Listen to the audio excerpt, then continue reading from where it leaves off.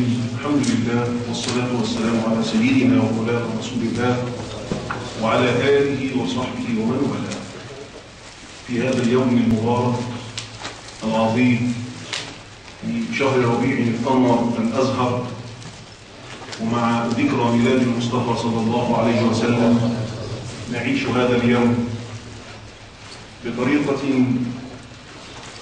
شرعية نرجو أن تكون في ميزان حسناتنا وأن تأخذ بأيدينا إلى معية سيدنا رسول الله صلى الله عليه وسلم. فأوجه الاحتفالات في المولد الشريف متعددة. طلبة العلم يحتفلون بالإقراء والتدريس وبقراءات الأحاديث النبوية والسيرة النبوية العطرة يتذكر ومرادنا عندما نقرأ السيرة والسنة وعندما نحتفل بميلاد المصطفى صلى الله عليه وسلم أن نتمثله بالطاعة وأن يزيد حبه في قلوبنا لأن هذا الحب ليس أمرا سهلا وإذا ذاقه الإنسان لا يستطيع أن يفارقه أو يعيش بدونه. فالإنسان يجرب نفسه إذا قذف الحب في قلبه حب سيدنا النبي صلى الله عليه وسلم بعدها لا يستطيع أن يتنفس دون أن يكون فيه شيء من سيدنا رسول الله صلى الله عليه وسلم. هذا النبي الكريم الذي جاء رحمة للعالمين. وقبل أن نبدأ في إقراء هذا الكتاب وهو في السيرة العاطرة والشمائل الطيبة الباهرة لسيدنا النبي صلى الله عليه وسلم بطريقة مختصرة وهو كتاب جدير كما قال صاحب الأصل الإمام المناوي جدير بأن يفرد فيحفظ. لنعرف شمائل سيدنا النبي صلى الله عليه وسلم وصفاته الظاهرة والباطنة الخلقية والخلقية. فإذا عرفناه وعرفنا هذه الصفات عسى الله عز وجل أن يمن علينا بأن نراه حتى في النوم. من رآني في المنام فقد رآني فإن الشيطان لا يتمثل بي. والإنسان عندما يرى سيدنا النبي صلى الله عليه وسلم في النوم أي واحد يراه عندما يستيقظ في الصباح كم يطير فرحا والدنيا كلها لا تسوى شيئا في جنب رؤيته لسيدنا النبي صلى الله عليه وسلم. وهذا الشيء ليس عجيب. في صحيح الإمام مسلم عن أبي هريرة عشان حتى نعرف ما قيمة أن ترى سيدنا النبي صلى الله عليه وسلم. يقول رسول الله صلى الله عليه وسلم من أشد الناس حبا لي أو من أشد الناس لي حبا أناس يقولون من بعدي يتمنون أن لو يروني بأهلهم وبأموالهم. يعني ينفق كل أمواله وكل أهله حتى يرى الطلعة البهية من سيدنا رسول الله صلى الله عليه وسلم. وهذا النبي العظيم في غلاف في الخارج في آخر الكتاب كلمة قلتها عندما شرعت بها عظيمة. لنعرف أن النبي صلى الله عليه وسلم هو رجل كل الرجولة جاء للعالمين للكافر والمؤمن للمطيع والعاصي الغني والفقير الصحيح والسقيم المتعلم وغير المتعلم. لكل البشر. جاء يحمل الضعيف من ضعفه وجاء يحمل القوي من نفسه ويقويه. لذلك قلت ليس الشأن أن تحمل الضعيف ولكن الشأن كل الشأن أن تحمل الضعيف والقوي. تحمل تساعد. فتحمل الضعيف لتحميه ويحتاج حماية ومساعدة ويحمل القوي وتحمل القوي لترقيه يرقيه في الدرجات يزيده في قوته. وهذا مقام الأمل من الأولياء. تشبها بسيد الرسل والأنبياء صلى الله عليه وسلم كما ورد في صحيح الإمام مسلم. نأخذ من أحاديثه من الكتاب والسنة ونعرف كم كان قدر سيدنا رسول الله صلى الله عليه وسلم. فالحديث يقول أرسل إلي أن اقرأ القرآن على حرف. سيدنا جبريل نزل سيدنا النبي صلى الله عليه وسلم وقال اقرأ القرآن على حرف بطريقة واحدة. سيدنا النبي صلى الله عليه وسلم رحيم بأمته يا رب طريقة واحدة لا تكفي. نريد طرق متعددة. حتى تكون الطرق المؤدية إليك متعددا متعددة فترحم الخلق بها. قال اقرأه على حرف واحد. قال يا ربي إرحم أمتي. قال اقرأه على حرفين قال يا رب أمتي قال اقرأه على سبعة أحرف. بطريق بسبع طرق قراءة القرآن. يكمل الحديث ولك بكل ردة رددتكها كل سؤال سألته ولم ألبك فيه يا محمد لك دعوة أجيبها. فسيدنا النبي صلى الله عليه وسلم سأل ثلاث ثلاث مرات. مرة واحدة لا تكفي مرتين لا تكفي ثلاثة لا تكفي فنزل سبعة أحرف. فله ثلاث دعوات. الثلاث دعوات ليست له وإنما لأمته. ولكن اختص اثنتين من الدعوات بالضعفاء. والضعيف هنا ليس بمعنى أنه ضعيف الجسم ولكن ضعيف الطاعة. بمعنى أنه يفعل المعاصي ويقترفها.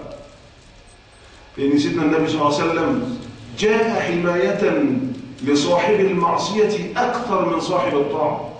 في الحديث الذي رواه البخاري ومسلم إني اختبأت دعوتي شفاعة لأمتي يوم القيامة. وفي رواية إني اختبأت دعوتي شفاعة لأهل الكبائر من أمتي.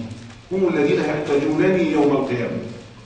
فهنا الثلاث دعوات أول دعوة اللهم اغفر لأمتي. أهل المعصية.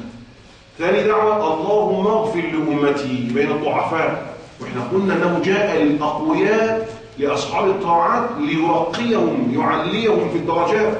في الحديث هنا قال وإني اختبأت الثالثة ليوم يرغب إلي فيه الخلق حتى الخليل إبراهيم صلى الله عليه وسلم. حتى سيدنا إبراهيم يرغب ويلوذ ويلجأ لسيدنا النبي صلى الله عليه وسلم. من هنا الإنسان يفرح بإسلامه. لماذا يفرح بإسلامه؟ لأنه بإسلامك يكون فيك شيء من سيدنا رسول الله صلى الله عليه وسلم. لذلك في الآيات الكريمة عندما تقرأ عن الآيات اللي جاءت في سيدنا النبي صلى الله عليه وسلم يقول واعلموا أن فيكم رسول الله. كلمة فيه ليس معكم ولا بينكم وما كان الله ليعذبهم وأنت فيهم. ماشي وأنت معهم أو بينهم. وكيف تكفرون بالله وأنتم تتلى عليكم آياته وفيكم رسوله؟ لماذا كلمة فيه علماء اللغة والأصول يقول في هذه للظرف والظرف هذا يا إما ظرف بيسموها ظرفية حقيقية أو مجازية معنى الظرفية الحقيقية إيه؟ يقول أن يكون للظرف احتواء. إناء يكون للظرف احتواء يعني يحمل الشيء يوضع فيه ويحتويه. ويكون للمظروف الذي بداخله تحيز. فإذا كان للظرف احتواء وللمظروف تحيز يعني له حيز في الكون جوهر هنا تكون الظرفية حقيقية. فيكون أقول الشاي أو الماء في الكوب كلمة فيه هنا ظرفية حقيقية. يعني هذا الكوب يحتوي الماء. وإنما إذا خرج عن أنه أن يكون للظرف احتواء وللمظروف تحيز إذا اختل شرط من الشرطين تكون ظرفية مجازية. بمعنى أنه يكون مثلا للمظروف تحيز واعلموا أن فيكم رسول الله. يبقى رسول الله هنا متحيز. سيدنا النبي صلى الله عليه وسلم يأخذ حيزا من الكون. ولكن فيكم فينا نحن كيف؟ هل نحن نستطيع أن يدخل فينا سيدنا النبي صلى الله عليه وسلم؟ لا يدخل. يبقى إذا هنا الظرف ليس له احتواء. فتسمى ظرفية مجازية. فنقول يعني إيه الظرفية المجازية؟ يقول إذا أعياك اللفظ في الخصوص إذا أعياك اللفظ في الخصوص بأن تنزل اللفظ على وجه الخصوص فاذهب إلى العموم. طالما كانت هناك علاقة. بمعنى؟ طب معنى واعلموا أن فيكم رسول الله هو أنا؟ قال لا. يعني محبة رسول الله صلى الله عليه وسلم. شيء من لوازم سيدنا النبي صلى الله عليه وسلم. بهذا المعنى الإنسان يعرف أن بداخله شيء من سيدنا رسول الله صلى الله عليه وسلم. يبقى لذلك الله عز وجل ما من مسلم إلا وفيه شيء من سيدنا رسول الله صلى الله عليه وسلم ولو كان مجرد الشهادتين. إن أنت تقول أشهد أن لا إله إلا الله وأشهد أن سيدنا محمد رسول الله. كده في قاسم مشترك بينك وبين سيدنا رسول الله صلى الله عليه وسلم. لذلك جاء واعلموا أن فيكم كيف تكفرون وأنتم تتلى عليكم وفيكم رسول وما كان الله ليعذبهم وأنت فيه الشيء الثالث أو المقولة الثالثة عندما لماذا نتشبث بسيدنا النبي صلى الله عليه وسلم؟ نمسك به لأنه من أجل عين تكرم آلاف آلاف الأعين. من أجل واحد. يكرم آلاف ملايين بس في اللغة العربية لا يوجد كلمة مليون ولا مليار. فنضيف فنقول من أجل عين تكرم آلاف آلاف آلاف آلاف الأعين حتى تكون مليارات أو تريليونات.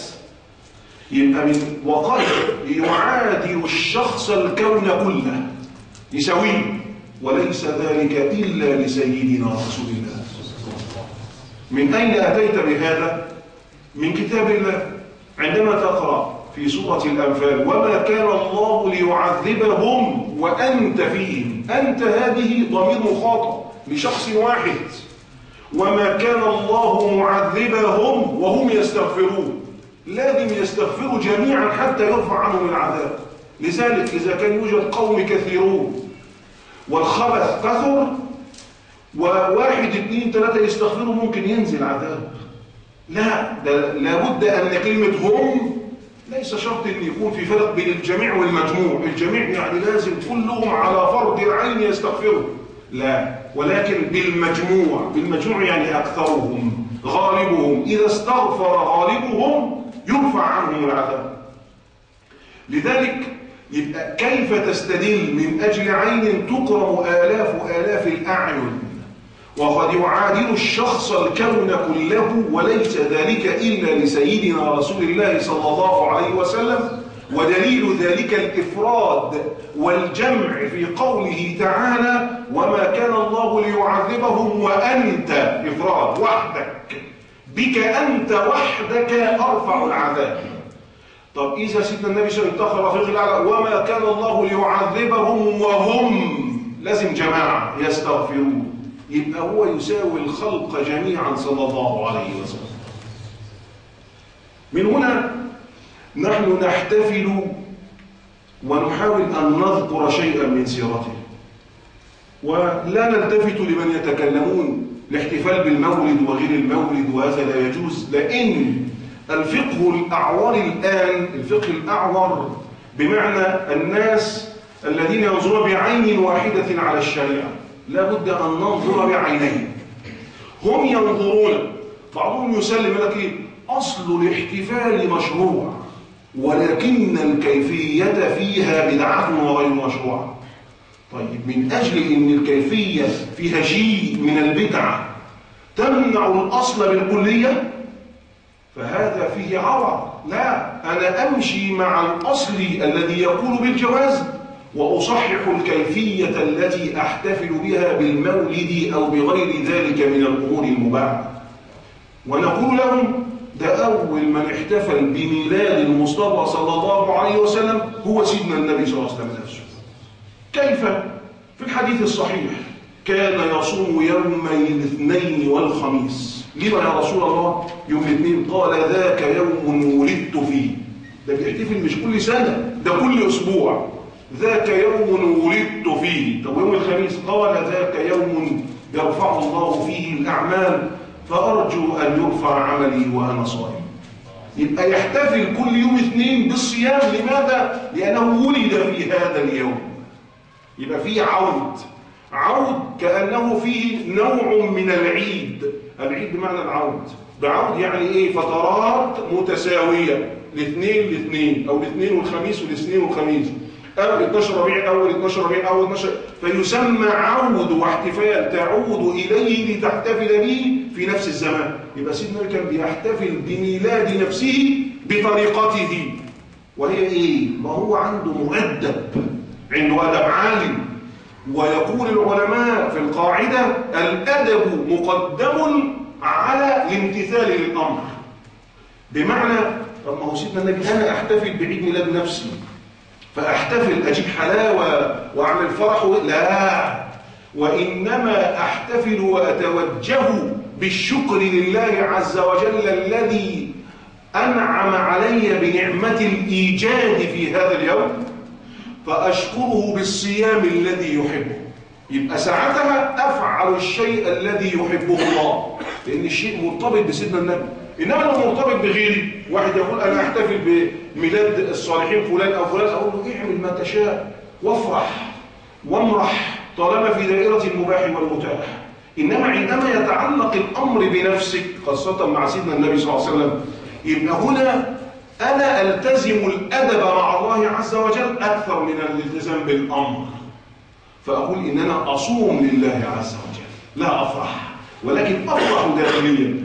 يبقى هنا وجود سيدنا النبي صلى الله عليه وسلم بالنسبة لنا نعمة كبرى. ليه؟ لأننا بين نعمتين نعمة الإيجاد ونعمة الإمداد. نعمة الإيجاد أوجده الله لك سيدنا النبي صلى الله عليه وسلم. ونعمة الإمداد أرسل أرسله إليك بكتاب مبين وبشريعة حكيمة ليخرجك من الظلمات إلى النور. يبقى خرج بالشر هو جاء وخرج بالشر. يبقى نعمة الإيجاد أن أوجد هذا النبي الكريم ونعمة الإمداد أن جاء بشرع يأخذ بأيدينا من أنفسنا إلى الله عز وجل. بهذه الطريقة ونضع في أذننا هذه الآيات ولماذا ذكرت واعلموا أن فيكم رسول الله وما كان الله ليعذبهم وأنت فيهم؟ كيف تكفرون؟ بالله وأنتم أو كيف تكفرون وأنتم تتلى عليكم آيات الله وفيكم رسوله. لماذا هذه الظرفية المجازية؟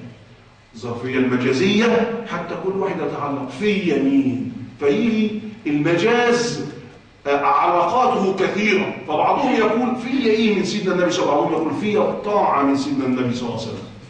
في المحبة من سيدنا النبي صلى الله عليه وسلم. في التوقير لسيدنا النبي صلى الله عليه وسلم. ده أقل شيء. ده في الشهادة التي أتشهد بها أشهد أن لا إله إلا أن محمدا رسول الله من سيدنا النبي صلى الله عليه وسلم. يبقى جعل لك الظرفية مجازية لتكون دوما لك علاقة مع سيدنا النبي صلى الله عليه وسلم. لا أريد أن أطيل في هذا الأمر حتى نقرأ الكتاب لأنه كتاب مبارك. مختصر ونجمع فيه بين السيرة أو مقتطفات كبيرة من السيرة النبوية ومن شمائل سيدنا النبي صلى الله عليه وسلم. بس المراد إن نقرأ السيرة والشمائل لنتمثل ونمتثل. يبقى عندما تقرأ نص شرعي عندك أمور ثلاثة. بعد القراءة والتأمل التعلق. تتعلق به. من غير ما تتحقق به من غير ما تفعله. أنا مرتبط بالقرآن الناس تحب كلها القرآن وقد لا يعلمون القرآن بس اسمه تعلق. يكون لك تعلق قلبي بسيدنا النبي صلى الله عليه وسلم بالسيرة والشمال. بعد التعلق يأتي التخلق. فأنت تتخلق بما جاء من صفاته الشريفة المنيفة. تتخلق بها تفعل مثلها وجزءا منها. وبعد ذلك بعد ما تتخلق وخلي بالك كلمة تخلق فيها تفعل تصنع يعني كأنك تتكلف أن تعمل مثله. ثم يأتي بعد ذلك التحقق. يعني أنت تكون بقى متحقق بهذا الأمر. وده الأمر خلي بالنا الدايرة مرتبطة. علم اليقين هو التعلق وعين اليقين هو التخلق وحق اليقين هو التحقق فعندما أنت تعلم أن هذا القرآن متعلق به ده علم يقين خلاص ثبت بدليل قطعي. وعندما تتخلق حتى ولو كان التخلق فيه تكلف بس تعمل هذا يسمى عين اليقين يعني أمام عينيك. أنت بتعمل هذا الأمر أمام عينيك. طب بعد ذلك التحقق اللي هو حق اليقين أن الشيء يخرج منك أنت. مع زيادة يقين في قلبك فهو عين اليقين لأنك تشعر به. لذلك لما جه ليس الشأن أن تكون مؤمنا وإنما الشأن أن تذوق حلاوة الإيمان. إن أنت تتذوق حلاوة الإيمان. إنما الإيمان كل يدعي الإيمان. إنما ذوق حلاوة الإيمان المرتبطة بالوجدان الشيء الذي يرتبط بالوجدان لا يفارق شيئا أبدا بعد ذلك. لذلك لما جه سيدنا النبي صلى الله عليه وسلم في حديث الإمام البخاري لسيدنا عمر وقال يا عمر لا يؤمن أحدكم حتى أكون أحب إليه.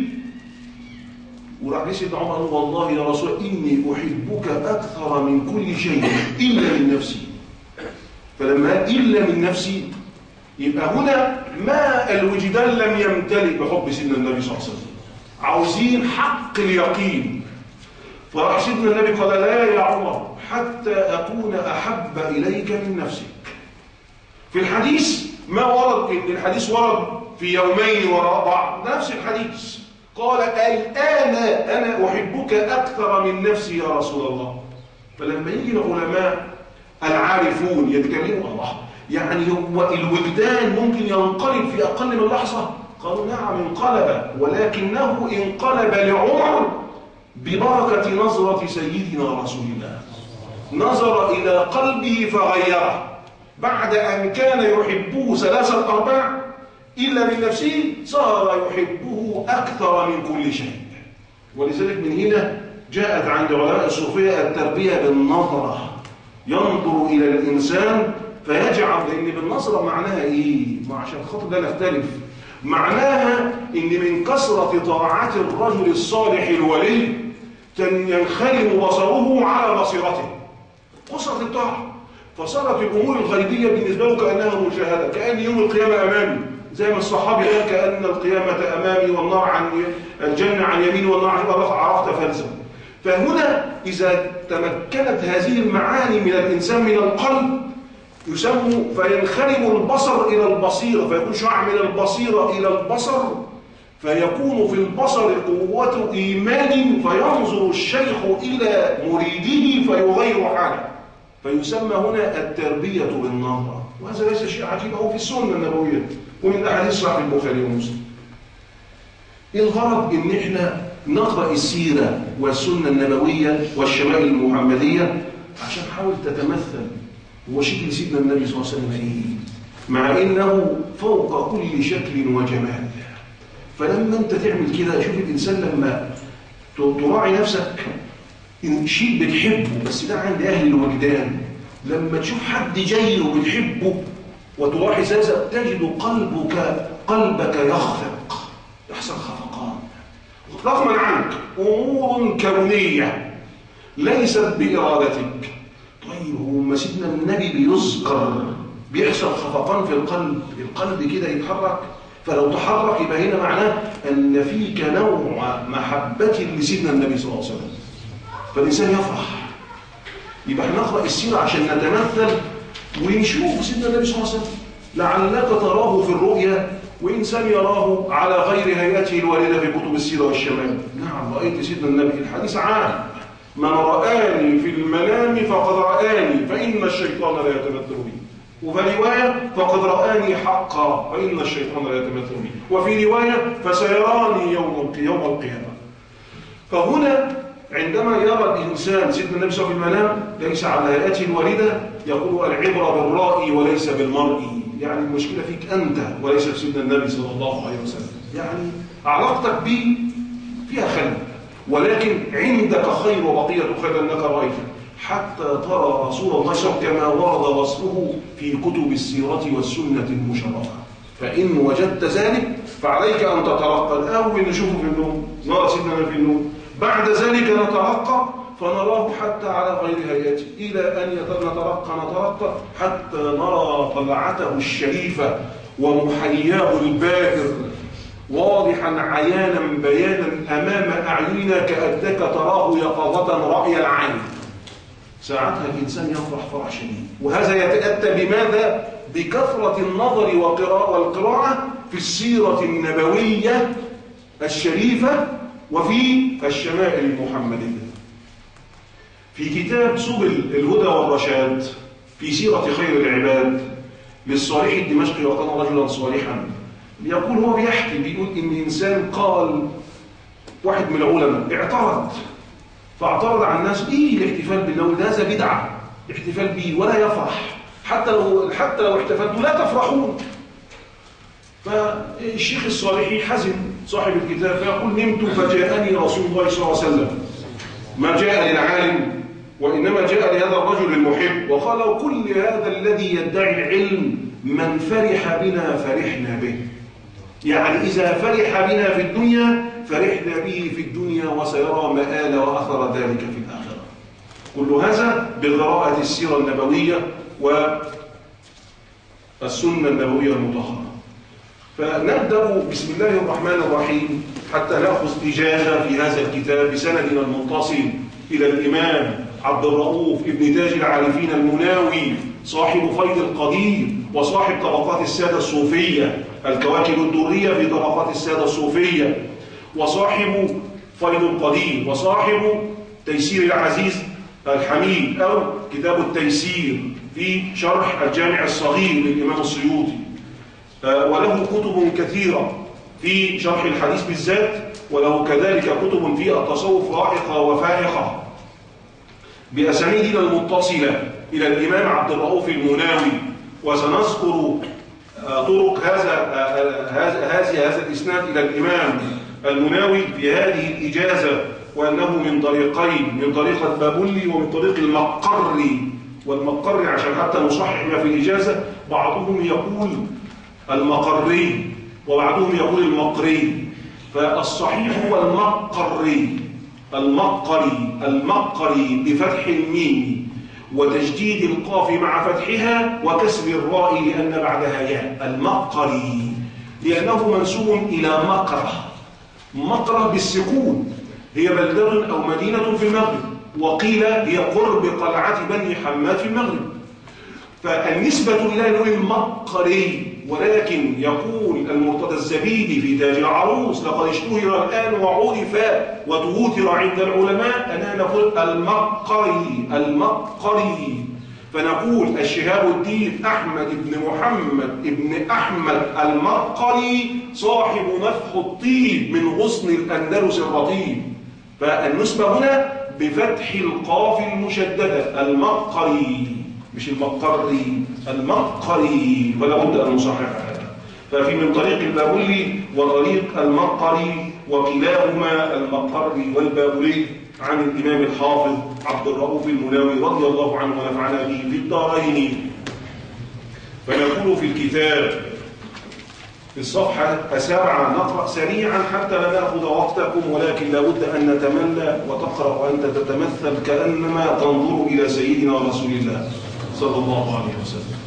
يقول رحمه الله تعالى ونفعنا به في الدارين في أول كتابه الباب الأول في سيرته من ولادته إلى وفاته في سيرته صلى الله عليه وآله وسلم من ولادته إلى وفاته ذكر نسبه وهو محمد بن عبد الله بن عبد المطلب بن هاشم بن عبد مناف بن قصي بن كلاب بن مرة بن كعب بن لؤي بن غالب بن فهر ابن مالك بن النضر بن كنانة ابن خزيمة ابن مدركة ابن إلياس ابن مضر ابن يزار ابن معد ابن عدنان. وهذا مجمع عليه.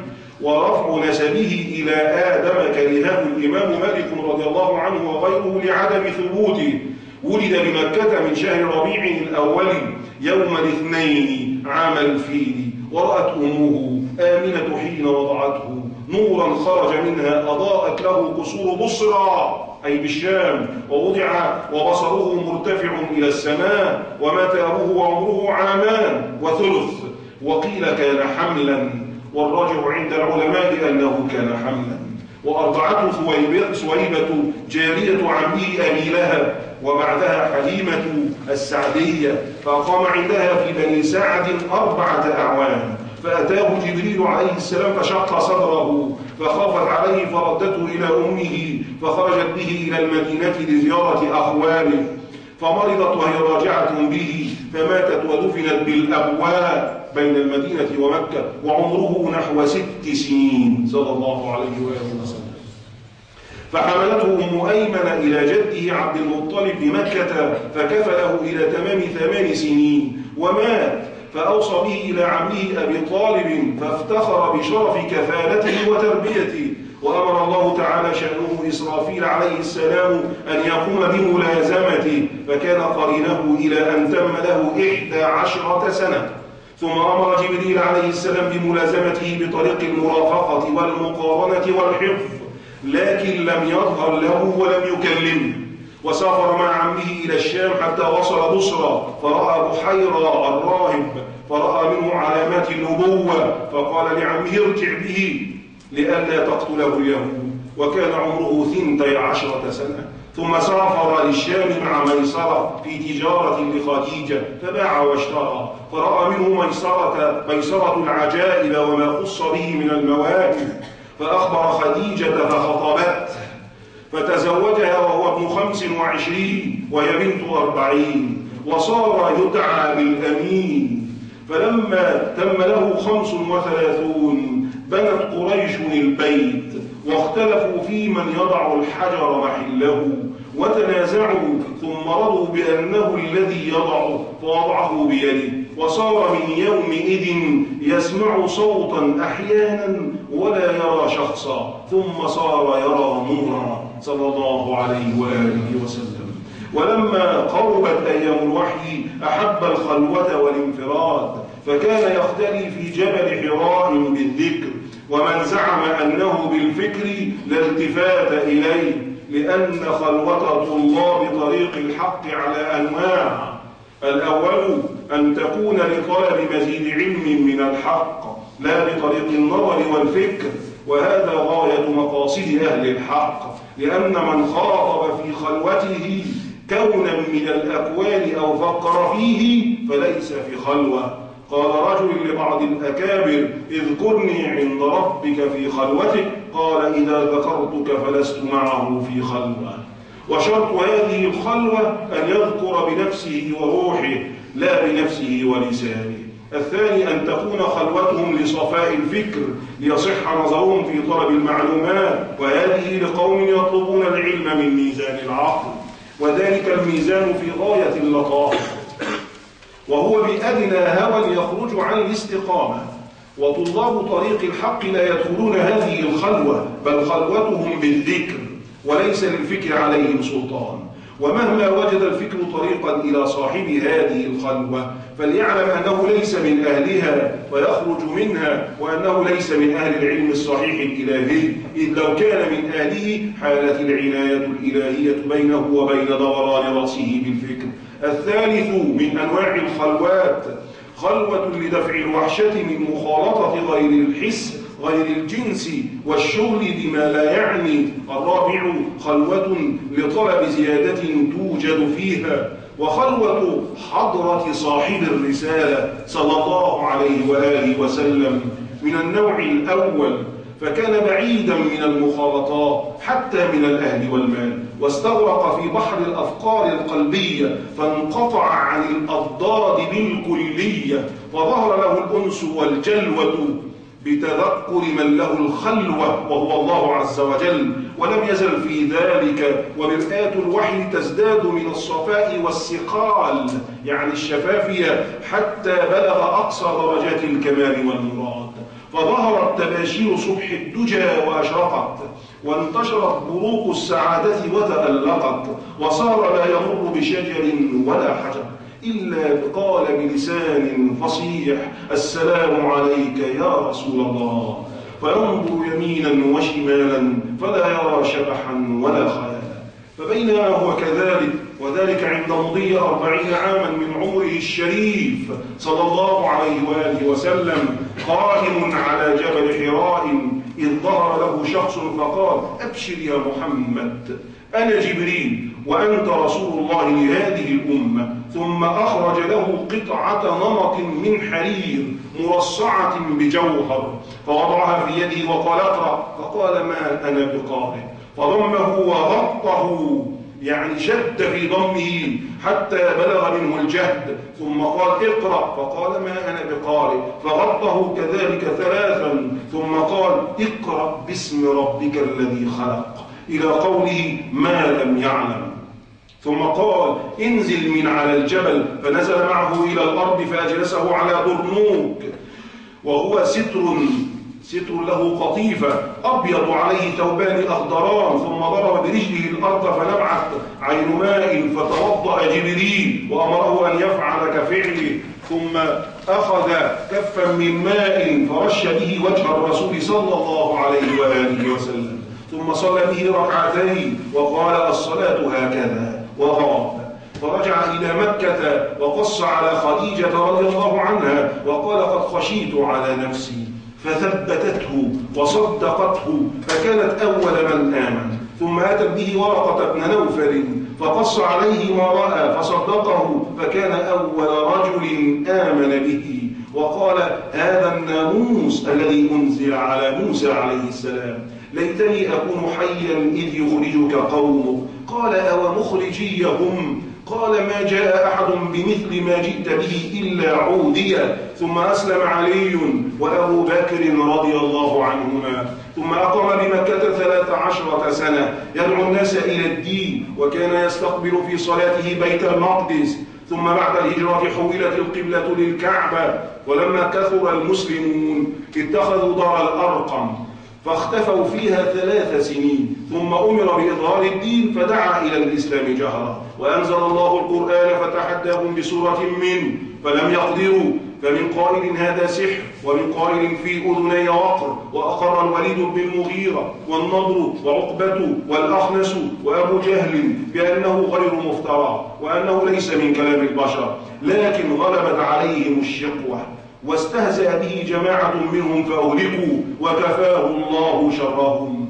ولما فشى الإسلام مشى كفار قريش إلى عمه أبي طالب وشكوا ما سمعوه منه من سب آلهتهم وذم دينهم. وتقرر ذلك وهو يضب عنه يدافع عنه وفي آخر المرار قال أعطنا محمد قالوا أعطنا محمدا نقتله وخذ بدله عمارة بن الوليد فتبناه فقال أقفل ابنكم وأعطيكم ابني لتقتلوا هذا لا يكون صلى الله عليه وآله وسلم. فمضى يجهر بالتوحيد فأجمعت قريش أن يقولوا ساحر وقعدوا بالطرق أيام الموسم يحذرون الناس منه. فافترقوا وقد أمره وسر ذكره فأخذوا في إيذائه وتعذيب من أسلم وطلبوا منه آية فأراهم انشقاق القمر. فزاد الذين آمنوا إيمانا والكفار طغيانا. ولما اشتد على المسلمين البلاء هاجر جمع منهم للحبشة فأقاموا بها خمس سنين. ثم بلغهم إسلام قريش فعادوا فوجدوه باطلا فرجعوا. فعظمت معاداة قريش له صلى الله عليه وآله وسلم ولصحبه فكتبوا كتابا ألا يناكحوا بني هاشم ولا يوالوهم ولا يبايعوهم ولا ولا وعلقوه في الكعبة وحصروهم بالشعب ثلاث سنين. وحتى اشتد بهم البلاء وسمعت أصوات صبيانهم يتضاغون يصيحون ويبكون من الجوع. وأطلع الله نبيه على أن الأرض دابة أصغر دابة. أكلت ما في الصحيفة من جور وظلم وبقي ذكر الله. فأخبرهم فأخرجوها فوجدت كذلك وشلت يد كاتبها. فقام رجال من الكفار في نقضها فلبسوا السلاح وأخرجوهم. ثم مات عمه أبو طالب ثم خديجة فحزن لذلك. ثم بعد عام ونصف أسري به من مكة للقدس على ظهر البراق ثم علا إلى السماء ومعه جبريل. فأتى الأنبياء كل واحد في سماء ففرحوا به ثم علا إلى مستوى سمع فيه صريف الأقلام بالأقدار.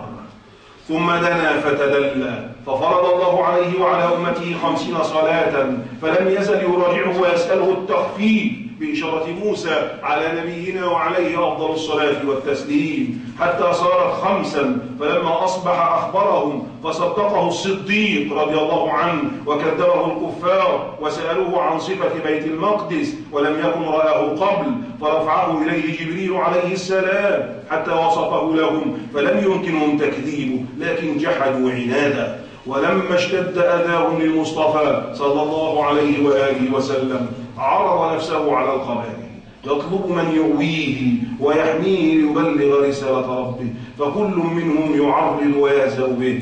حتى أتاح الله له الأنصار فصار الواحد منهم يسلم فيسلم جميع عشيرته. ففشى الإسلام بالمدينة فهاجر إليها المسلمون. وأراد أبو بكر رضي الله عنه أن يهاجر فمنعه حتى هاجرا معا. فخرجا إلى غار ثور ومعهما عامر بن فهيرة يخدمهما وابن مريقة يدل على الطريق. فسلكوا طريق الساحل وأعمى الله عنهم العدو. فرآهم سراقة فتبعهم يريد قتلهم. فدعا عليهم المصطفى صلى الله عليه وآله وسلم. فساخت أي غرزت فرسه في الأرض فناداه الأمان يا محمد. فدعا له فخلص وحلف ألا يدل عليه أحدا. فرجع فلقيه الكفار يطلبونه فقال ارجعوا فقد استبرأت لكم أي فتشت وبحثت فلم أجد محمدا. ثم مروا بخيمة أم معبد فاستسقوها لبنا فقالت ما عندي؟ فنظر المصطفى صلى الله عليه وآله وسلم إلى شاة في كسر الخيمة ففي ناحية الخيمة فقال ما هذه؟ قالت شاة أضر بها الجد وما بها لبن فمسح ضرعها فحلبت وشربوا. وسافر حتى وصل إلى قباء يوم الاثنين من ربيع الأول فأقام بها أربعا. ثم رحل يوم الجمعة فصلى وهي أول جمعة صلاها. ثم ارتحل للمدينة فبركت ناقته بمحل مسجده الآن. صلوات الله وسلامه عليه. فنزل بدار أبي أيوب حتى بنى مسجده ومنازل زوجاته وبنى صحبه حوله. وكانت المدينة كثيرة الوباء. فزال ونقل الله منها الحمى إلى الجحفة. مكان قريب من مكة من طريق المدينة فأقام بها شهرا ثم نزل عليه إتمام الصلاة أربعا وأقام من ربيع الأول إلى سفر يبني مسجده. وفي هذا العام في العام الأول كان ابتداء الأمر بالآذان. وفي الثاني فرض الصوم وزكاة الفطر والمال وحولت القبلة للكعبة وغزا بدرا. وفي الثالث أحدا والرابع بني النضير وخسرت الصلاة وحرم الخمر وشرع التيمم وصلاة الخوف. والخامس الخندق وبني قريظة والمصطلق. والسادس العام السادس عمرة الحديبية وبيعة الرضوان وفرض الحج. وفي السابع خيبر وعمرة القضاء والثامن وقعة مؤتة وفتح مكة وحنين والتاسع تبوك وحجة الصديق رضي الله عنه ويسمى عام الوفود والعاشر حجة الوداع والحادي عشر وفاته صلى الله عليه وآله وسلم. الباب الثاني في صفاته الظاهرة. كان صلى الله عليه وآله وسلم ربعة معنى ربعة لا بالطويل ولا بالقصير لكنه إلى الطول أقرب بعيد ما بين المنكبين. أزهر اللون أبيض عظيم الهامة الرأس واسع الجبين أزج الحاجبين يعني مقوس الحاجبين. أبلج ما بينهما كأن ما بينهما الفضة المخلصة. أدعج العينين أي كحيل العينين. ما أدعج العينين فيهما تلوج من حمرة. مفلج الأسنان بينهما مسافات. يفطر عن مثل حب الغمام. شعره غير جعد ولا قطط. لا هو ناعم ولا هو خشن. بل وسط أحسن الناس عنقا.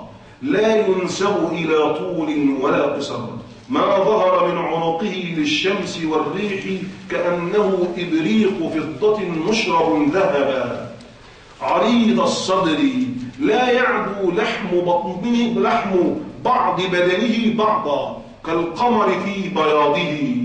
يعني لحم بطنه موصول ما بين لبته وسرته بشعر كالقضيب. ليس في صدره ولا بطنه غيره وله عكل ثلاث يغطي الإذار منها واحدة وتظهر اثنتان وكان عظيم المنكبين أشعرهما. ضخم رؤوس العظام يعني عظام المنكبين واليدين والرجلين واسع الظهر بين كتفيه خاتم النبوة. مما يلي منكبه الأيمن فيه شامة علامة سوداء تضرب إلى صفرة حولها شعرات متوالية كأنها عرف فرس. عبل العضدين يعني غليظ وضخم العضدين والذراعين طويل الزندين الساعد مع اليد رحب الراحة سائل الأطراف طويلها كأن أصابعه قضبان فضة. كفه ألين من الخز من الحرير كأنه كف عطار من رائحة المسك فيه. يضع يده على رأس الصبي فيعرف من بين الصبيان بريحها على رأسه. عبل ضخم ما تحت الإزار من الفخذ والساق. معتدل الخلق في السمن بدنا يعني زاد لحمه في آخر عمره وكان لحمه متماسكا. يكاد يكون على الخلق الأول لم يضره السن لم يؤثر فيه تقدم السن. وكان يمشي كأنما يتقلع من صخر وينحدر من صبب. يخطو تكفيا مائلا للأمام ويمشي هونا في تواضع بغير تبختر. إذا التفت التفت جميعا ولا يلوي عنقه عرفه رائحته كاللؤلؤ في البياض والمسك في الريح يقول ناعده واصفه لم أر قبله ولا بعده مثله صلى الله عليه وآله وسلم. الباب الثالث في صفاته الباطنة وأخلاقه الظاهرة وآدابه الباهرة صلى الله عليه وآله قد زينه الله بالخلق الكريم ثم أضاف ذلك إليه فقال وإنك لعلى خلق عظيم. فمن مكارم أخلاقه ومحاسن آدابه أنه كان أحلم الناس وأشجعهم وأعدلهم وأعفهم وأجودهم. لا يبيت عنده درهم ولا دينار وإن فضل ولم يجد من يعطيه وفاجأه الليل لا يأوي منزله حتى يبرأ منه إلى من يحتاجه وما سئل قط فقال لا. وكان أصدقهم لهجة وأشدهم تواضعا وألينهم عليكة وأكرمهم عشرة وأعظمهم حياء. لا لا يثبت بصره في وجه أحد. لا يثبت أو يثبت بصره في وجه أحد. أسكت الناس في غير كبر. وأفصحهم وأبلغهم في غير تطويل. يقبل الهدية ولو جرعة لبن وفخذ أرنب ويكافئ عليها بأكثر. ويأكلها ولا يأكل الصدقة. يغضب لربه لا لنفسه. ينفذ الحق وإن عاد بالضرر عليه. نظره إلى الأرض أكثر من نظره إلى السماء. خافض الطرف. من رآه بليهة هابة. ومن خلطه معرفة أحبة. رقيق البشرة. لطيف الظاهر والباطن يعرف في وجهه غضبه ورضاه. وإذا أهمه أمر أكثر من مس لحيته يتكلم بكلام بين فصل يحفظه من سمع ويعيد الكلمة ثلاثا أحيانا لتعقل عنه وكان متواصل الأحزان. دائم الفكر ليست له راحة. في شغل دائم لا يتكلم في غير حاجة. كثير البكاء والضراعة يمشي مع المسكين والأرملة لقضاء حوائجهما ويخصف نعله ويرقع ثوبه وينقي الهوام منه ويحلب شاته ويخدم أهله ويمشي منتعلا وحافيا ويعود المرضى حتى بعض الكفار وأهل النفاق ويشهد الجنائز ويزور قبور المؤمنين ويسلم عليهم ويستغفر لهم ويركب الفرس والبعير والحمار بإيكاف ببرزعة برباط وعريا من غير رباط. لكن أكثر ركوبه للأولين الفرس والبعير. وأما البغل فكان قليلا في بر العرب لكن أهدي له فركب ويركب منفردا ويردف أحيانا خلفه عبدا وزوجته وغيرهما. ويجالس الفقير ويؤكل المسكين ويكرم أهل الفضل ويتألف أهل الشرف. فكان يتواضع لأكابر الكفار للتألف ولكونهم مظاهر العزة الإلهية ويقول إذا أتاكم كريم قوم فأكرموه ولا يواجه أحدا بما يكرهه ويمزح ولا يقول إلا حقا ويوري ولا يقول في توريته إلا صدقا ويجلس للأكل مع العبيد ويأتي إلى بساتين إخوانه إكراما لهم ويمشي وحده بين أعدائه بلا حارس لا يهله شيء من أمر الدنيا لا يخاف لا يحقر مسكينا لفقره ولا يهاب ملكا لملكه. يدعو هذا وهذا إلى الله دعاء واحدا. وقيل له ادعو على الكفار فقال إنما بعثت رحمة. اللهم اهد قومي فإنهم لا يعلمون. صلى الله عليه وآله وسلم. ولم يكن فحاشا ولا لعانا ولا بخيلا ولا جبانا ولا صخابا مرتفع الصوت في الأسواق يختار أيسر الأمور. ولا يضحك إلا تبسما يعجب مما يعجب منه جلساؤه ويضحك مما يضحكون. ويذكرون ما كان منهم في الجاهلية فيبتسم. قد وسع الناس خلقه فهم في الحق عنده سواء ومن انتهر خادما. ولا قال لا ولا قال له في شيء صنعه لما صنعته ولا في شيء تركه لما تركته. بل يقول لو قدر كان. صلى الله عليه وسلم. ولا ضرب بيده أحدا إلا في الجهاد. مجلسه مجلس حلم وصبر وحياة. من فاوضه لحاجة صابره يصبر معه حتى يكون هو المنصرف. وما أخذ أحد بيده فيرسلها حتى يرسلها الآخر. ولا يجلس إلا على ذكر الله. وكان أكثر جلوسه مستقبلا محتبيا بيديه. وكان حسن العشرة لأزواجه. ويسوي بينهم في الإيواء والنفقة. وأما المحبة فيقول اللهم هذا قسمي فيما أملك فلا تلمني فيما تملك ولا أملك. يعني المحبة والجماع. وكان يبدأ من لقيه بالسلام حتى الصبيان. ويؤثر الداخل بوسادته ويبسط له ثوبه. فإن أبى عزم عليه حتى يفعله. ولا يقول في الرضا والغضب إلا الحق. وإذا وعظ احمرت عيناه وعلى صوته كأنه منذر جيش. وإذا سر استنار وجهه كأنه قطعة قمر. صلى الله عليه وسلم. وكان يقدم أصحابه أمامه. ويمنع أن يمشي أحد خلفه. ويقول خلوا ظهري للملائكة. فالله حميد وله معقبات من بين يديه ومن خلفه يحفظونه من أمر الله. ولا يجزي سيئة بمثلها بل يعفو ويصفح. جمع الله له السيرة الفاضلة والسياسة التامة الكاملة وهو أمي لا يكتب ولا يقرأ. نشأ ببلاد الجهل في فقر وفي رعاية الغنم يتيما من أبويه. فعلمه الله مكارم الأخلاق وأدبه فأحسن تأديبه.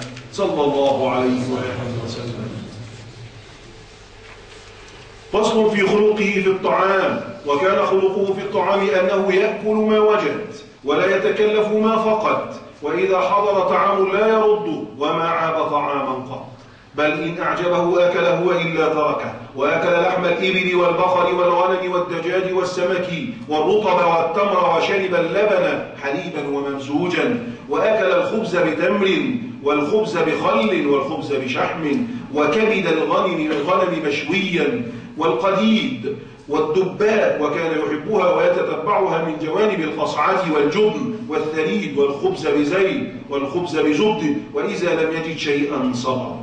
حتى شد الحجر على بطنه. وكان أحيانا لا يجد من الدقل ما يملأ بطنه.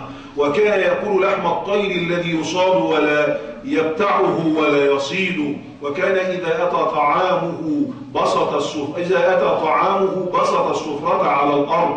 ووضعه عليها ولم يأكل على خوان ولا في سقرجة ويأكل بثلاثة أصابع وربما استعان بالرابع ونهى عن الأكل بأصبع وقال أكل الشيطان وباثنين وقال أكل أكل الجبابرة ويأكل اللقمة الساقطة ويقول لا لا تدعها للشيطان ويلحس القصعة ويقول تستغفر للاحسها ويتتبع أو ويتبع ما سقط من السفرة ويقول من فعله غفر له ويسمي الله أول طعامه وإذا فرغ حمله ولا يأكل متكئا بل مقعيا ويقول آكل كما يأكل العبد وأجلس كما يجلس العبد صلى الله عليه وآله وسلم. ويحب اللحم ويعجبه الذراع وسم فيه يعني وضع السم في هذه الزراعة والعجوة يحب العجوة والعسل والحلوى وأحب الفاكهة إليه العنب والبطيخ. قال الغزالي وكان يأكل البطيخ بخبز وبسكر ويستعين بيديه جميعا وربما أكل العنب خرطا. وكان أكثر طعامه التمر والماء وكان يحب الهندبة والبقلة الحمقاء ويدجلة وكان يعاف الضب والطحال ولا يحرمهما. وأتي بلبن وعسل في إناء فرده وقال أدمان طعامان في إناء لا أقوله ولا أحرمه لكني أكره الفخر. صلى الله عليه وآله وسلم. وكان في بيته يقوم ويأخذ ما يأكل بنفسه ولا يشتهي على أهل بيته طعاما ولا اقترح وكان لا يأكل وحده ولا يجمع بين سمك ولبن ولا بين لبن وشيء من الحوامض ولا بين غذائين حارين ولا باردين ولا قابضين ولا مسهلين ولا غليظين ولا بين لحم مشوي ومطبوخ وقديد ورطب وحليب ولحم ولا يأكل طعاما طعاما حارا ولا يابسا ولا ما فيه عفونة كالملوحات وكان يدفع ضر بعض الأطعمة ببعض كتمر بزد وبطيخ أو قثاء برطب وينقع التمر ويشرب ماءه لهضم الطعام وأمر أن يؤكل ما تيسر قبل النوم وألا يؤكل الخبز وحده. ونهى عن النوم عقب الأكل وقال أذيبوا طعامكم بذكر الله ولا تناموا عليه فتقسو قلوبكم. وكان يشرب في ثلاثة أنفاس ويمص مصا ولا يعب.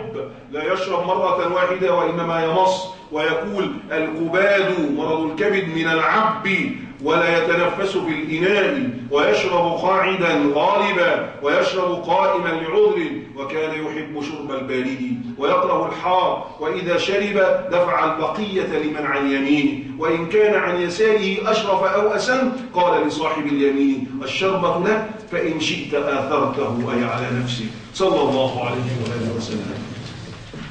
فصل في خلقه في اللباس. وأما خلقه في اللباس فكان يلبس ما وجد كتانا أو صوفا أو قطنا والغالب القطن قميصا أو رداء أو إزارا أو غيرها ويحب ثياب الخضر.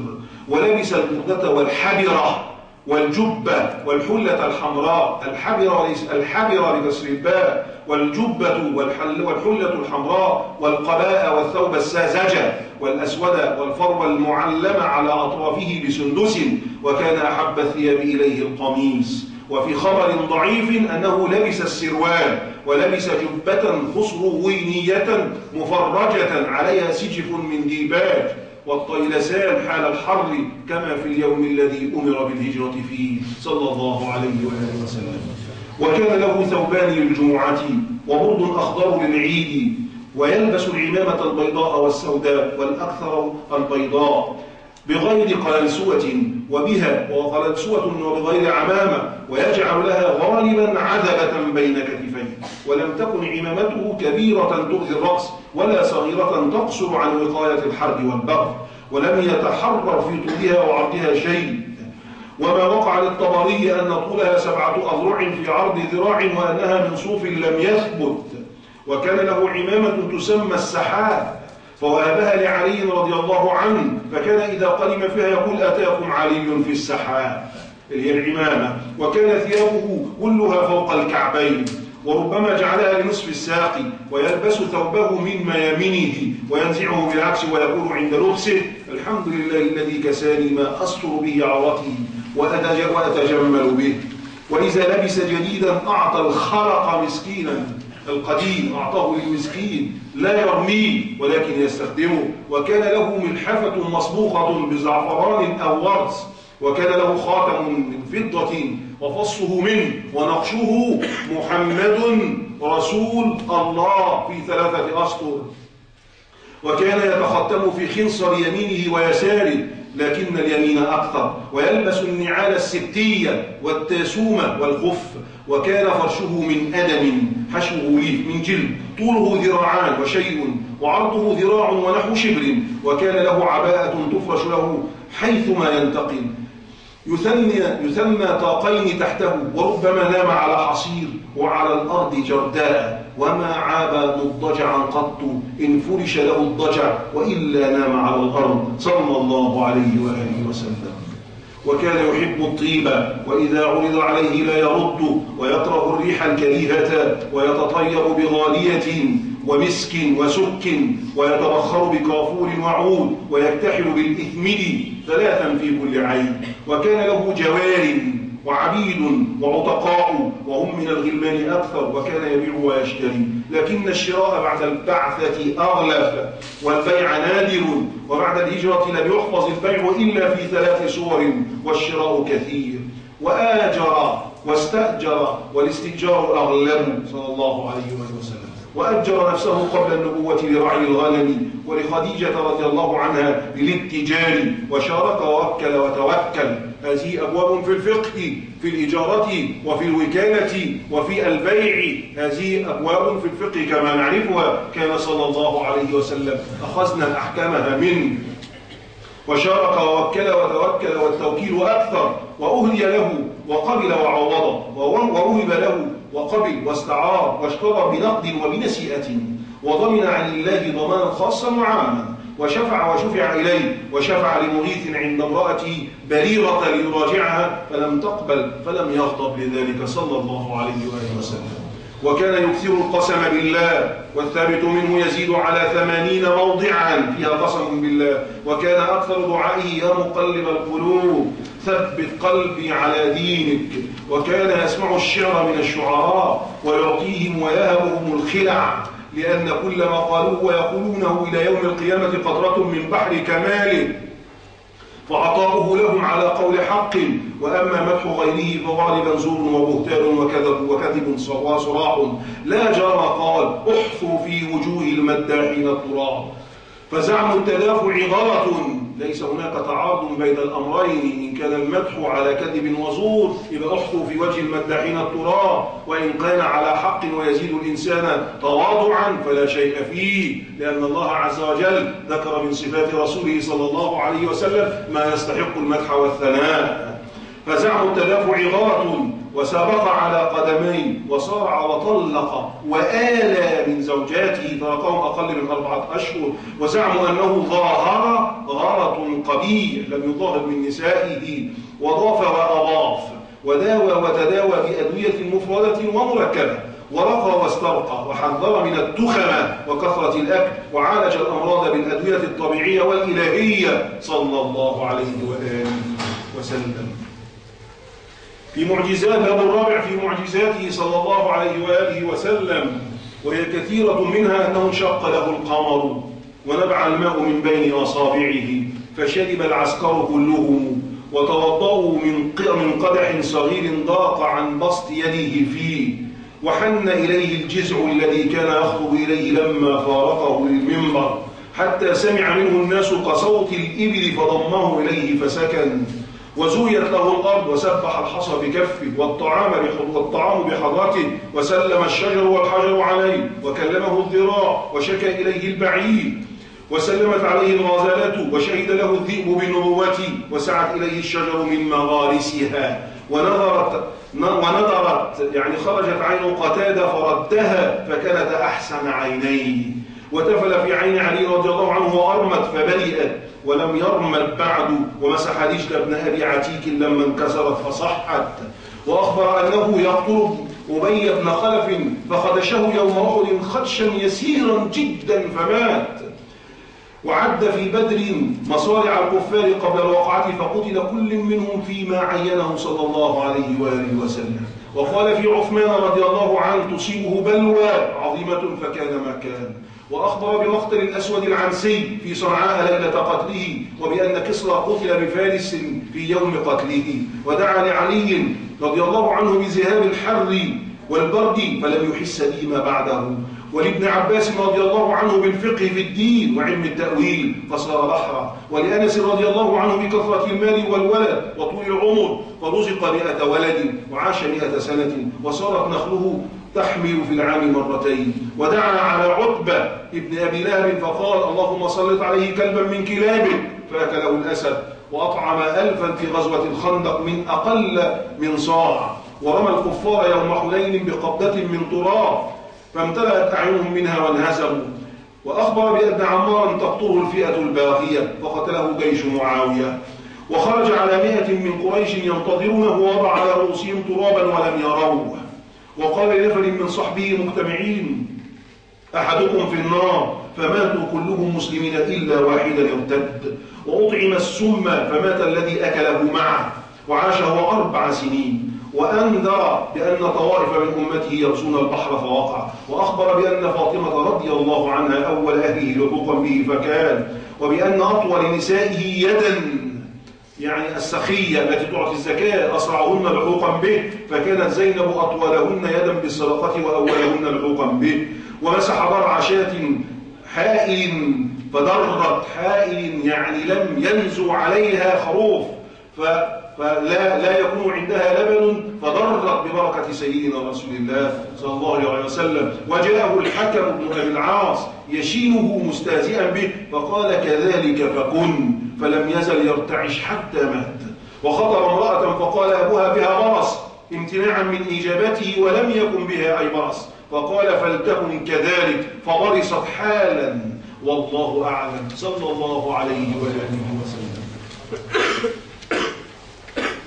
الباب الخامس في خصائصه صلى الله عليه وآله وسلم وهي أنواع. الأول الواجبات عليه. وهي الضحى والوتر وراتبة الصبح سنة الصبح والأضحية نقول الأضحية والأضحية والأفصح بالتجديد فنقول الأضحية والأضحية والسواك ومشاورة العقلاء وتغيير منكر مطلقة ومصابرة العدو في الحرب وإن كثر وقضاء دين ميت مسلم معسر وطلاق كارهة وتخير زوجاته بين الطلاق والمقام والتهجد ثم نسخ. الثاني المحرمات وهي الصدقة ولو نفلة والكفارة وتعلم الخط والقراءة والشعر وروايته. ونزع لأمته التي يرتديها الدرع في الحرب إذا لبسها قبل القتال ومد عينيه لمتاع, لمتاع غيره ولا تردن عينيك إلى ما متعنا به أزواجا منهم. والإيماء إلى فعل مباح كقتل وضرب مع إظهار خلافه.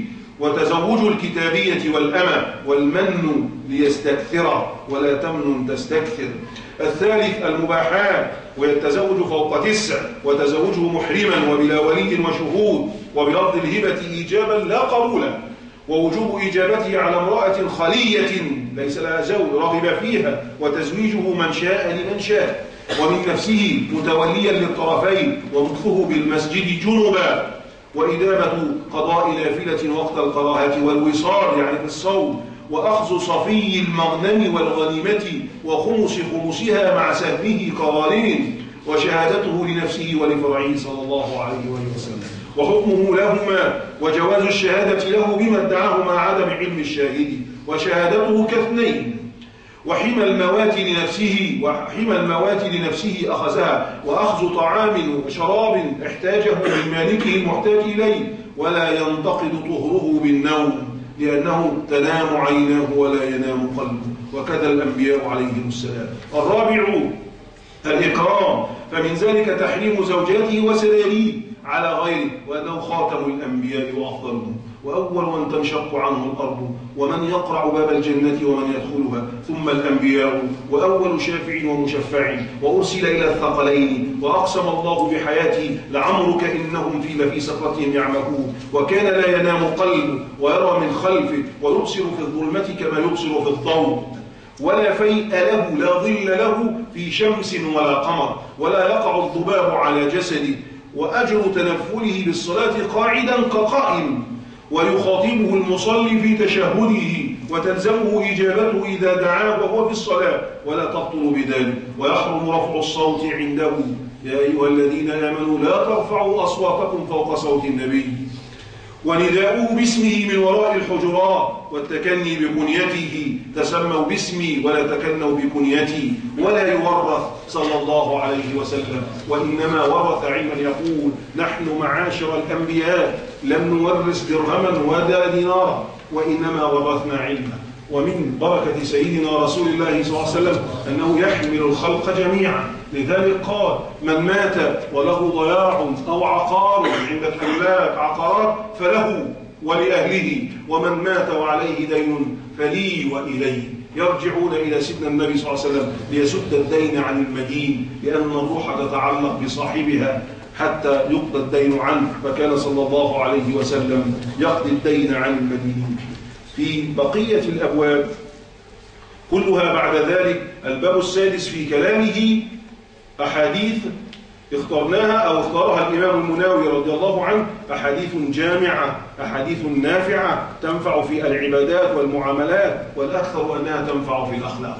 كل ما جاء في السيرة هنا ثابت بالأحاديث. حتى ألفاظ الأحاديث حرص عليها حرص عليها الإمام المناوي وحرصنا عليها كما هي حتى نتعود ألفاظ سيدنا النبي صلى الله عليه وسلم. ونذكر بعض المعاني الخفيفة حتى نفهم المعنى ولكن على ألفاظ سيدنا النبي صلى الله عليه وسلم. لأننا نتشبث. إذا تشبثت بكلامه صرت معه نفسا ونفسا. نفسا يعني مع سيدنا النبي ونفسا يعني كل ما يخرج من كلامه فكلامه مقترن بنفسك فتكون معه قلبا وقالبا. صلى الله عليه وآله وسلم. فهذه الأحاديث هي قصيرة ولكنها عظيمة. المعاني قائلة المباني عظيمة المعاني. وبعد ذلك في ذكر شيء من أدعيته صلى الله عليه وآله وسلم. فنتجاوز هذا وفي شيء نقرأ في الأدعية في الأدعية الأحاديث والكلام فهو كثير واخترنا منها 109 أحاديث. نمشي ونقرأها جميعا بعد ذلك كله منفردا ونقرأ الباب السابع صفحة 65 في ذكر شيء من أدعيته صلى الله عليه وسلم حتى نأخذ بركة الدعاء لأن ده دعاء سيدنا النبي فكأنه حاضر بيننا. وجل ربنا أن يدعو نبيه صلى الله عليه نبيه صلى الله عليه وسلم بدعاء ولا يستجيب دعاءه.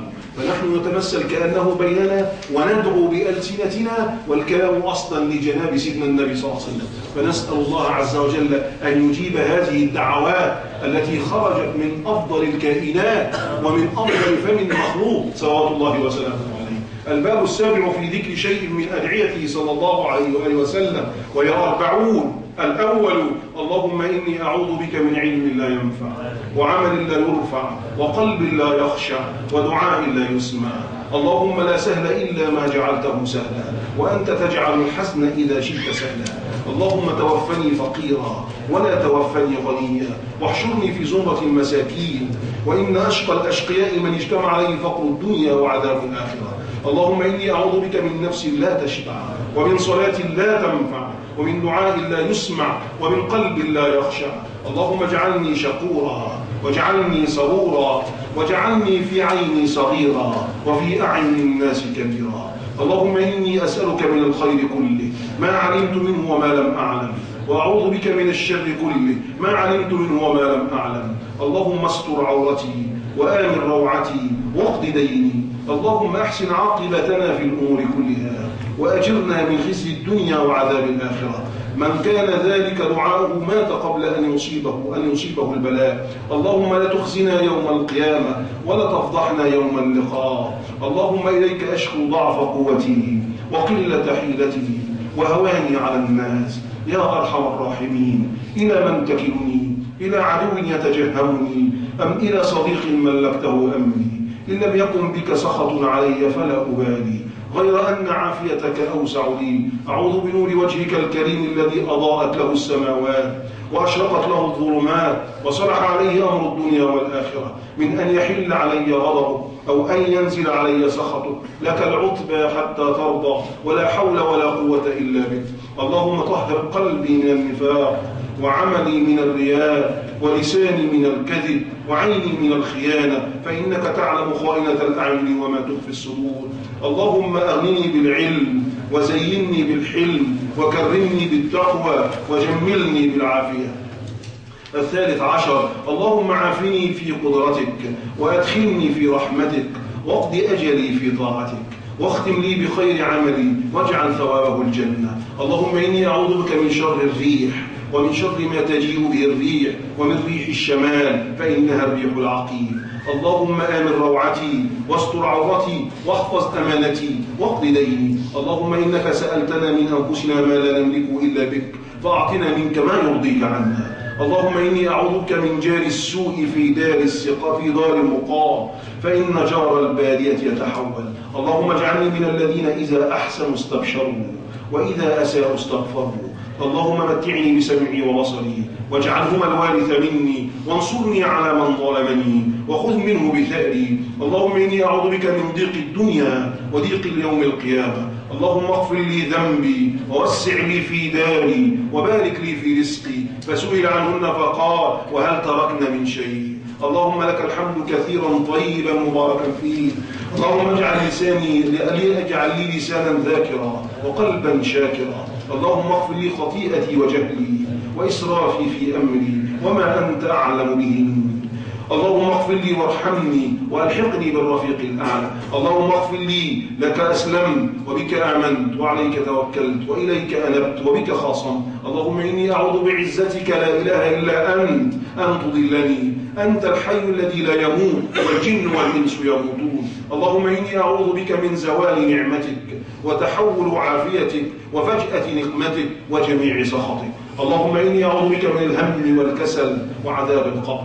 اللهم اقسم لنا من خشيتك ما تحول به بيننا وبين معاصيك ومن طاعتك ما تبلغنا به جنتك ومن اليقين ما تهون به علينا مصائب الدنيا ومتعنا بأسماعنا وأبصارنا وقوتنا ما أحييتنا واجعله الوارث منا. واجعل ثأرنا على من ظلمنا وانصرنا على من عادانا. ولا تجعل مصيبتنا في ديننا ولا تجعل الدنيا أكبر همنا ولا مبلغ علمنا ولا تسلط علينا من لا يرحمنا. اللهم إني أعوذ بك من منكرات الأخلاق والأعمال والأهواء. اللهم انفعني بما علمتني وعلمني ما ينفعني وزدني علما. الحمد لله على كل حال. اللهم اجعلني اللهم اجعلني أعظم شكرك. وأكثر ذكرك وأسمع نصيحتك وأحفظ وصيتك. اللهم إني أعوذ بك من غلبة الدين وغلبة العدو وشماتة الأعداء. اللهم رب جبريل وميكائيل وإسرافيل أعوذ بك من النار. اللهم إني أعوذ بك من الشيطان الرجيم وهمزه ونفخه ونفثه اللهم إني أسألك الصحة والعفة والأمانة وحسن الخلق والرضا بالقدر. اللهم إني أعوذ بك من الكفر والضلالة والفقر الذي يصيب بني آدم. اللهم اغفر لنا وارحمنا وارض عنا وتقبل منا وأدخلنا الجنة ونجنا من النار وأصلح لنا شأننا كله. قالوا زدنا قال أولسنا قد جمعنا الخير. اللهم اغفر لي ذنوبي وخطاياي وعمدي اللهم إني أستهديك لأرشد أمري وأعوذ بك من شر نفسي. اللهم انصرني على من بغى علي وأرني ثأري ممن ظلمني وعافني في جسدي ومتعني بسمعي وبصري واجعلهما الوارث مني. اللهم أعني على الموت وهونه علي.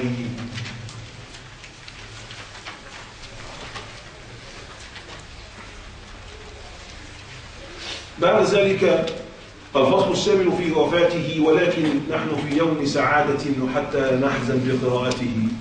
كل يقرأه وحده بوفاته صلى الله عليه وسلم. وإن كان قد انتقل إلى الرفيق الأعلى بجسده إلا أن الروح معنا في كل مكان. فما منكم من أحد يصلي علي إلا رد الله علي روحي حتى أسلم عليه. كم من ذاكر ومصل عليه في كل وقت وحين حتى إذا وقف الخلق عن الصلاة والتسليم عليه فإن الخالق قد تكفل بذلك. والله لا يحده زمان ولا مكان ولا حال. فقال إن الله وملائكته يصلون على النبي بصيغة المضارع يعني في كل وقت وحين فيما مضى وفيما هو آن وفيما بقي وهو يصلي عليه في كل زمان ومكان وحال. الله تبارك وتعالى فلا أقل من أن نتشبث بهذا الأمر. إذا نقرأ السيرة النبوية. وهذه الشمائل العاطرة وبعد ذلك الإنسان إذا قرأ بإخلاص سينطق بنفسه من غير أن يشعر بالصلاة والسلام على سيدنا رسول الله. وليس الشأن أن تصلي كلما ذكر حتى لا تخرج من دائرة البخل. لا نريد أن نخرج إلى دائرة الجود. ودائرة الجود إنما جاءت إذا, كان إذا كنت بكليتك لله ورسوله. كلك مالك وأهلك لا يؤمن أحدكم حتى أكون أحب إليه من نفسه وماله وولده والناس أجمعين. وفي الختام نختم بحديث الإمام الترمذي رضي الله عنه في سننه عن أبي بن كعب. عندما سيدنا النبي صلى الله عليه وسلم آه، كان آه، أحد الإبل أو البعر البعير توخل وتوحش وتأبد كما جاء في الحديث وأهله لا يستطيعون الإمساك به. فكان في غرفة كبيرة يهيج ويمشي ويخيفهم ولا يستطيعون السيطرة عليه. ماذا يفعلون؟ خافوا منه بعد أن كان مستأنسا معهم. ففي العصر إذا كان وهذا ما نستشعره إذا كان بغيتك ورائدك وآخذ بيدك وموجهك هو رسول الله صلى الله عليه وسلم فلا تلجأ إلى الله إلا بسيدنا النبي صلى الله عليه وسلم. فذهبوا إلى سيدنا النبي. تعالى إيش فيه قالوا البعير عندنا بعير كان مستأنسا. والآن لا نستطيع أن نحكم زمامه أو نمسكه حتى. وهو يهيج علينا في بيتنا وقد توحش والجمل يصبر كثيرا. أفلا ينظرون إلى الإبل كيف خلقت في صبرها الشديد؟ ولكنها إذا غضبت كالحليم إذا غضب. تكون شديدة الغضب وربما تفترس من أمامها بس بعد إيه؟ غضب شديد. فشكوا لسيدنا النبي صلى الله عليه وسلم. فقال تعالى فذهب. الجميع لا يستطيعون فتح الباب والدخول على هذا الجمل أو البعير. ففتح سيدنا رسول الله صلى الله عليه وسلم. ووجد البعير في آخر الركن.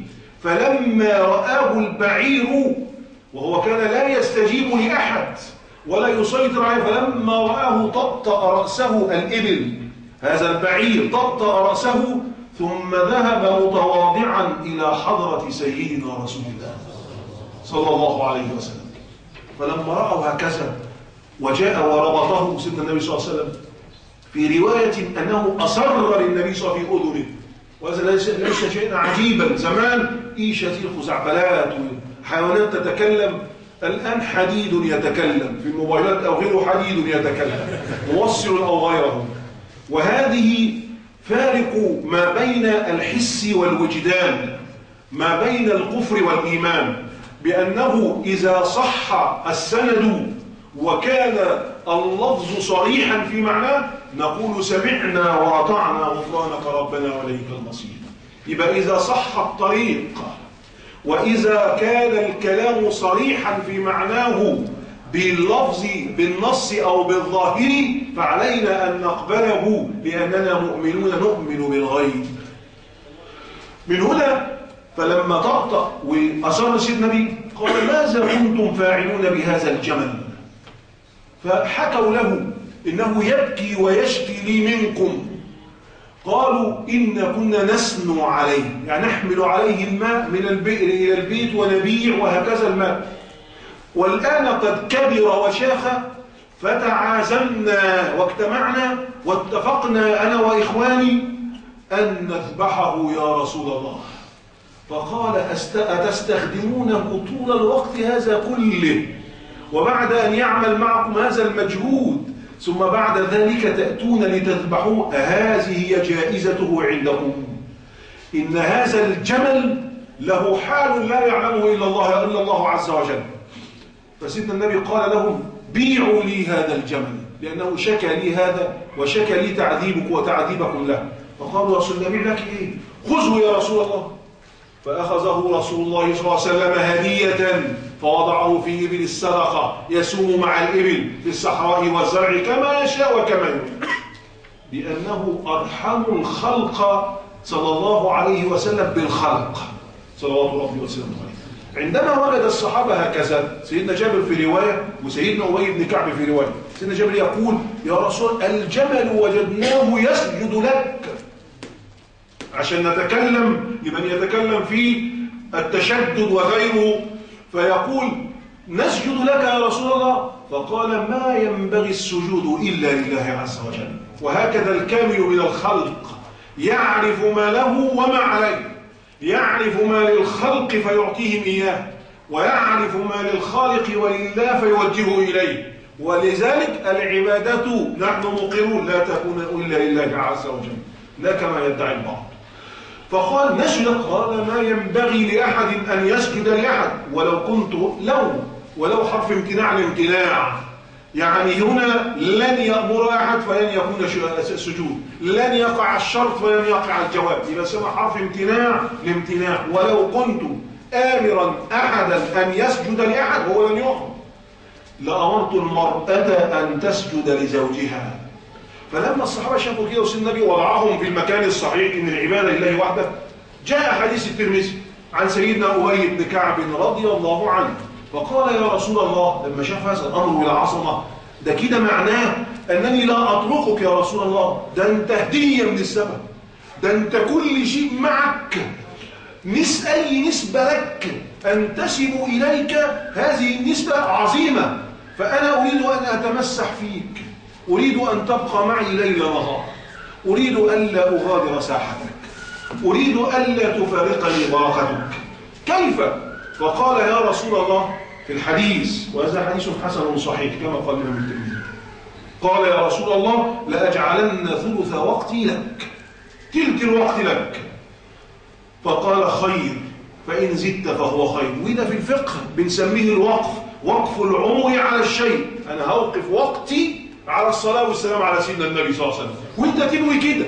يبقى تأخذ ثواب الوقف وتأخذ ثواب الذكر وتأخذ ثواب الانتساب إلى سيدنا النبي صلى الله عليه وسلم. يبقى ده باب الوقف. لأجعلن ثلث وقتي لك. قال خير فإن زدت فهو خير. قال لأجعلن نصف وقتي لك. قال خير فإن زدت فهو خير. قال لأجعلن ثلثي وقتي لك. التلتين قال خير فإن زدت فهو قال لأجعلن كل وقتي لك. يبقى هجعل كل وقت لك. يجي هنا علماء الأصول يتكلمون. يعني إيه كل وقت ليك؟ يعني هو لا يدخل الحمام لا يكون مع زوجته لا يكون في الصلاة المفروضة. قالوا الوقت المحتمل الذي لا يكون مشغولا فيه بواجب. وهنا بيسموه الكلام عام ولكن خص بالعقل. يعني بالعقل كده الإنسان يدخل الخلاء ويكون مع الزوجة ويكون وقت طعام وغيره. ده مش هيصلي سيدنا النبي فيه لأنه فهو مشغول فيسموه التخصيص بالعقل في أصول الفقه. زي قول تعالى تدمر كل شيء بإذن ربها أو بأمر ربها. تدمر كل شيء الريح ويتدمر كل شيء بس في شيء بقي قال كل شيء قابل للتدمير. يبقى هنا أصلي على كل وقت يعني في الوقت الذي لا أكون فيه مشغولا بواجب لله عز وجل أو بما أوجبه علي في حق زوجي أو أولادي أو وطني. يبقى قال لأجعلن كل وقتي صلاة وسلاما عليك. كل وقت. وده شيء جميل شيء جميل. قال له إذا اللي يعمل كده ويلازم الصلاة والسلام على سيدنا النبي صلى الله عليه وسلم يبقى يكفيه يعطيه سعادة الدنيا والآخرة. سعادة الدنيا في إيه؟ قال له هو عدم الانشغال بالرزق. الأولاد وأنا عاوز آكل واللقمة وهكذا. لا تنشغل بالرزق. ربنا يريح قلبك ولا تكون متشوفا ولا متطلعا للرزق. الشيء الثاني إن يوم القيامة تأتي مغفور مغفورا ذنبك. اذا يسموه الستر في الدنيا وفي الآخرة. ففي رواية الإمام الترمذي يقول إيه؟ إذا تكفى همك. اللي هو هم الدنيا بقى. ويغفر الله لك ذنبك في الآخرة. فسعادة الدنيا والآخرة في ملازمة الصلاة والسلام على سيدنا ورسول الله. صلوات الله وسلامه عليه. خاصة في هذا اليوم المبارك بل في كل لحظة ونفس. لأننا قلنا في الأول إذا صاحبت نفسه وأنفاسه لا تستطيع أن تستغني عنه. ده أنت لما تدخل لأي مكان وتشوف إنسان كل يوم 10 20 مرة لا تستغني عنه. فما بالك إذا صاحبت أنفاسه الشريفة في كل وقت وحين فيأتي كلام هنا سيدي أبو العباس المرسي. فلما يتكلم سيدي أبو المرسي لو خاب عني رسول الله صلى الله عليه وسلم طرفة عين ما أعددت نفسي من المسلمين. يبقى في كل لحظة هو مع سيدنا أبو العباس المرسي. وسيدنا أبو العباس المرسي ده تلميذ سيدنا أبو الحسن الشاذلي. وسيدنا أبو الحسن الشاذلي كان يقول على سيدنا أبو العباس المرسي هذا الذي في الإسكندرية إن أبا العباس لأعرف بطرق السماء منه إلى الأرض.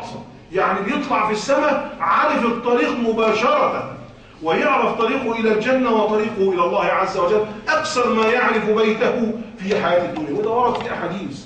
إن المسلم لما يذهب إلى يوم القيامة يعرف طريقه للجنة. أكثر من تعرف طريقك في هذا البيت أسفل سيهديهم ويصلح بالهم ويدخلهم الجنة عرفها لهم.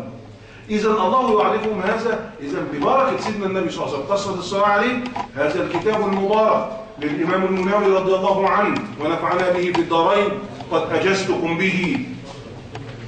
وقد أجزتكم به مناولة مع المجاز لأن الناس المبطلون الذين أعطوكم وأجزتكم به قراءة وهي من الأشياء أو من أدوات التحمل في الحديث الكبيرة السماع والقراءة. فأنا أردت أن ألا يقرأ أحد منكم هذا وأن أقرأ أنا حتى تنظروا أنتم في الكتاب وأنا أقرأ فيكون سماعا فتجمعون بين النظر في الكتاب وبين السماع.